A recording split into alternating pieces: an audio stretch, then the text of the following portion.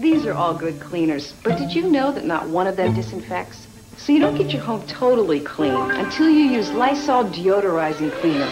Lysol cleans and kills germs without any extra effort. Germs can be anywhere, so don't do part of the job. Lemon Fresh Lysol deodorizing cleaner cleans and disinfects.